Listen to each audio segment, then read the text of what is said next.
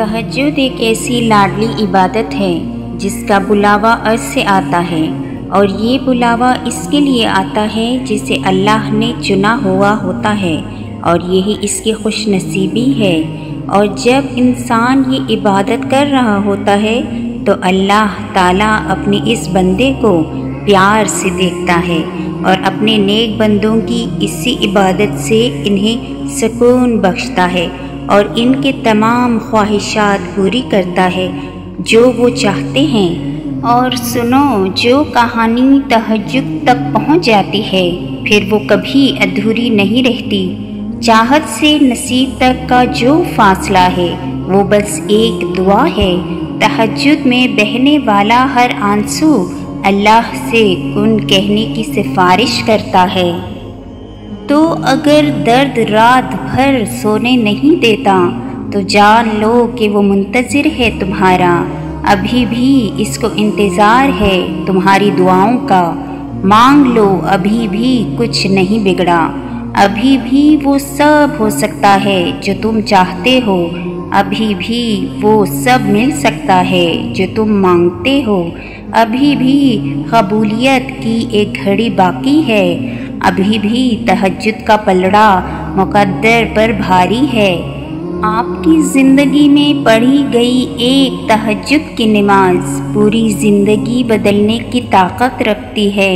तहजद की ताकत ऐसी ताकत है कि जो आपको अल्लाह ताला के इतना नज़दीक कर देती है कि फिर आपको और कोई नज़र नहीं आता। सिवाय अल्लाह के। क्या तुम्हें फजर और तहजद की ताकत का अंदाज़ा है? अगर नहीं तो जान लो, ये दोनों नमाज़ें ऐसी नमाज़ें हैं कि जब हम सुबह ख्वाब खरगोश की नींद में सोए होते हैं तो हमें पता ही नहीं चलता कि हमने कितने कीमती लम्हात ज़ाया कर दिए। और ये याद रखो, फजर और तहजद खामोश नमाजें हैं। इनमें बहाए गए आँसू की पुकार सिर्फ़ अल्लाह देखता और सुनता है, तभी तो इनमें मांगी गई दुआएँ असर रखती हैं, तभी तो इनको अदा करने के बाद इंसान का दिल सुकून से भर जाता है। जो दुआएँ तुम्हें इतनी प्यारी होती हैं ना, इन्हें मांगने का अंदाज भी बहुत प्यारा होना चाहिए। इतना प्यारा कि अल्लाह पहली बार में ही उन पर कुन कह दे और पता है अल्लाह को इतना प्यारा अंदाज किसका लगता है तहज्जुद पढ़ने वालों का? आपको जो चाहिए, अगर आपने उसे अल्लाह से तहज्जुद में नहीं मांगा तो क्या मांगा? दुआएँ कभी भी रद्द नहीं की जाती। फिर वो तहज्जुद की दुआ हो या किसी फ़र्ज़ नमाज़ की? फिर वो हंस कर मांगी गई हो या रोते हुए? फिर वो किसी नमाजी की हो या बेनमाजी की, जो काफिर को भी खाली हाथ नहीं लौटाता। तुम्हें लगता है वो तुम्हें तड़पता हुआ छोड़ सकता है? और तुम्हें तहज्जुद की कीमत का क्या पता? तहज्जुद इतनी कीमती है कि अगर अल्लाह हमें ना देता तो हम कभी समझ ही नहीं पाते कि अल्लाह की मोहब्बत किसको कहते हैं। और सुनो, नमाज़ अगर मोहब्बत है तो तहजद अल्लाह से ऐश का एहसास है। अल्लाह हमें नमाज़ वाली मोहब्बत और तहजद वाला इश्क नसीब फरमाए। आमीन। हज़रत अली सलाम फरमाते हैं लाहासिल को अगर पाना चाहते हो तो तहजद पढ़ा करो, क्योंकि जो नसीब में ना हो, इसे तहजद की दुआएँ मुकद्दर में ले आती हैं। जब रात के आखिरी पहर अल्लाह तुम्हें खुद चुनता है तहजद पढ़ने के लिए तो फिर सोचो, वो तुम्हें खाली हाथ कैसे लौटाएगा?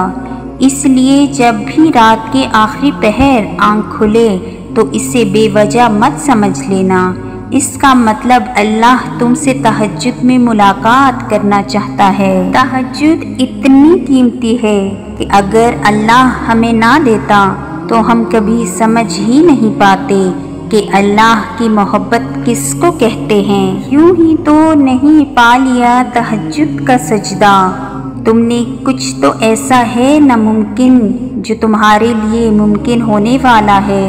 तहजद में मांगी गई दुआएँ तो सीधा अर्श पर जाती हैं। मुखलिसी से मांगी हुई दुआएँ तुम्हारी तकदीर बदल देती हैं।